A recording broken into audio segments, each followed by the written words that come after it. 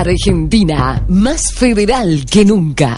Acto de inauguración de obra hidroeléctrica Yacyretá desde la provincia de Misiones. Habla la presidenta de la Nación, Cristina Fernández de Kirchner. Artistas en vivo, viernes 25, 19 horas. Vamos todos a la vieja estación de La Rioja y a la plaza principal de Chilecito.